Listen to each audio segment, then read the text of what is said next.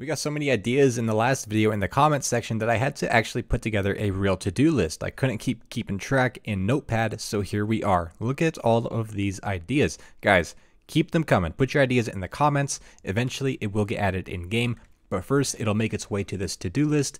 And when I start working on it, it'll get moved to the in progress list. And when it's done, it'll get moved to the completed list and you will see your idea in game.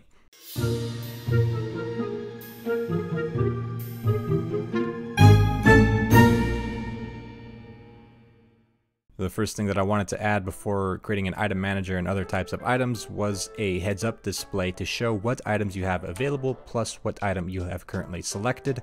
As you can see in the top left, we have this nice UI that pops in when you press an item and it pops out after a couple seconds delay. And of course, we have the tool gun, which has its own sub menu. As you can see on the right, has a very similar effect. It pops in when you change the tool. It shows you what tool you have selected and you simply just scroll the mouse wheel up and down to select different tools. We'll give this a second to pop so you can see how that looks. Pretty nice.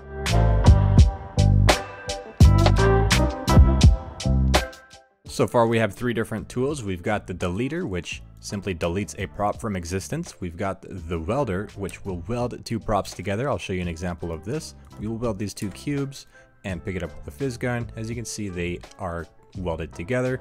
And we have the destructor, which does destroys a prop just like that. The welder has a secondary tool that you can unweld with. So if we go to our welder, we can right click and unweld. As you can see, these cubes are no longer welded together. We've got a gravity gun, which you can use to pick up objects and you can also throw them. And of course, we've got the stick, which is a melee weapon, which you can use to abuse your creations if you feel like getting physical.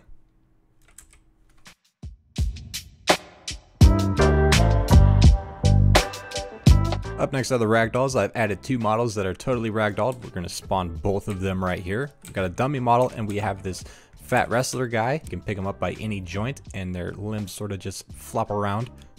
Ragdolls are totally compatible with Physgun and welding, so you can freeze a ragdoll in space by any limb and he'll kind of just sit there and hang. And you can weld objects to ragdolls as well. Let's grab a sphere, bring it a little closer, and let's weld this guy's head to the sphere. And just like that, his head is attached to a sphere.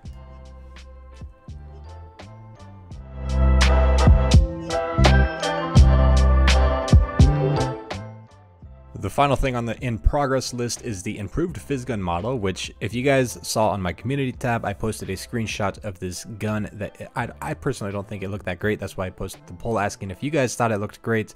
And the overwhelming response was no, I didn't look that great. So we have this new Physgun model, which is just temporary. I think eventually I'm going to try to find a couple different Physgun models, but eventually we're going to have something that is voted on by the community, and that is going to be our Physgun. That about wraps this up. The next video for UMod will have a few more things crossed off the to-do list. I do want to get a build out for you guys to play and check out eventually. I'm not sure when that's going to come, but it will come eventually, so keep an eye out for that.